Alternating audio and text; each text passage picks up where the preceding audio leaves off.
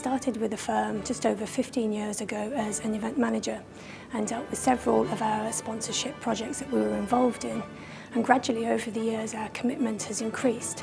SCO are a great sponsorship partner to work with as they reflect a lot of our beliefs and values. So when they asked us to become their creative learning partner over the next five years, we jumped at the chance.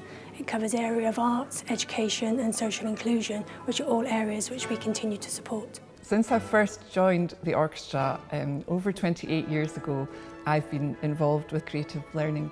We do Big Ears Little Ears tour and it was meant to be in an environment that parents and carers would feel free to bring children and not worry about them making a noise. They were to come along and be able to enjoy music for them as adults. So they come along and we, we have chosen music that the parents would enjoy but also we've learned to involve the children in doing maybe playing musical statues and doing a bit of marching. So we intersperse the, the repertoire for adults with repertoire for children. We try and balance that together.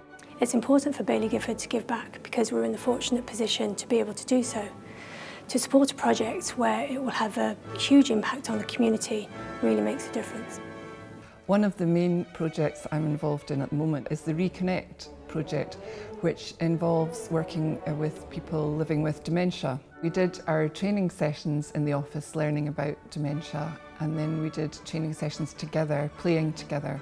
Then I went onto the ward and it's really daunting and it's still daunting just because you never know how people are going to respond. There was one chap on the edge of the circle who just, he didn't want to be there and his wife was there and she was trying to encourage him to stay.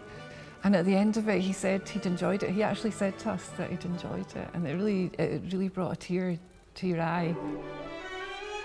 I think it's important for society as a whole that the SCO does this creative learning work because not everyone can come to our concerts. So we pluck little groups from within the orchestra and take them out into the community, into schools. We hope that if we go into schools, children will then tell their parents who may then come along to a concert in a Highland village. You know, you just never know particular highlight for me was actually um, attending one of the opening concerts where we were invited up on stage prior to the performance and we got to meet several of the players.